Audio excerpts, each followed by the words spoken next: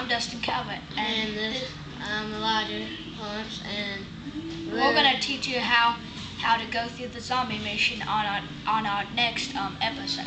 Right now, we're gonna tell the steps.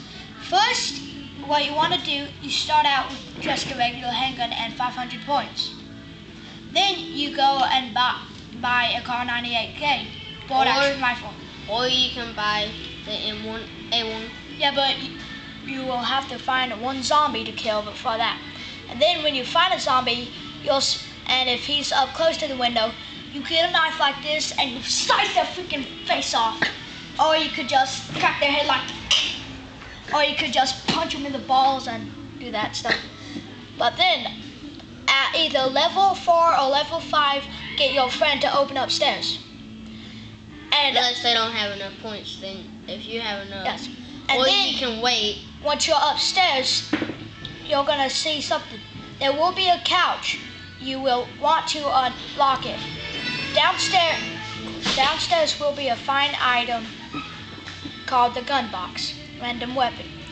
You press X to it if you have 950 points. or more. And once and once you do it, you get a random weapon. And if and if you get a good weapon, such as a flamethrower, keep it.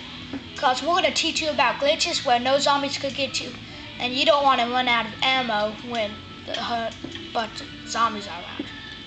Because the flamethrower is infinite, so that would be probably the best one to use. Yeah, but do not shoot the ground in front of you because it'll burn you alive. And you'll be Kentucky Fried Chicken.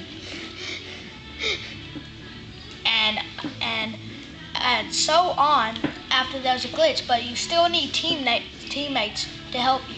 If you're doing solo, you will have a likely 50% chance that you're gonna die.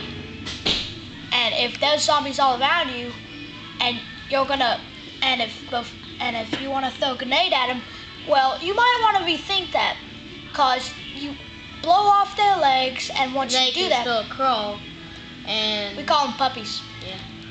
so like Yep. But what you could do is you could get a trench gun, which is a pump shotgun, and you could get off my window, and you could point it to the face, and you could blow their freaking face off.